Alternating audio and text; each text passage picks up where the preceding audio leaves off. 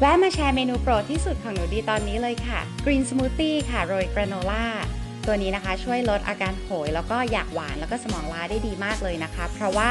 ชงด้วยนูเซสพีโปรตีนนะคะ เป็นโปรตีนถั่วลันเตายุโรปสีทองสกัดเข้มข้นนะคะ โปรตีนสูงกว่านมวัว 2 เท่า แล้วก็มีกรดอะมิโนที่ร่างกายต้องการและสร้างเองไม่ได้ครบทั้ง 9 ชนิดเลยค่ะ หนูดีก็จะปั่นกับผลไม้โปรดแล้วก็ผักสดๆเลยนะคะ ปั่นเสร็จนะคะกับน้ำน้ำแข็ง